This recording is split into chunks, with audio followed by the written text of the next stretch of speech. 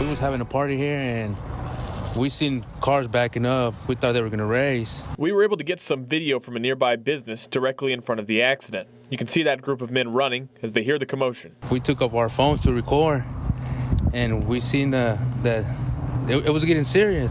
So we just ran over there and we see we we seen a person laying on the ground. He says others started calling the police and first responders arrived. The firefighters came and they, they were doing CPR on her. Soon after, they went back to their place when police seemed to have control of the situation and an ambulance took the victim away.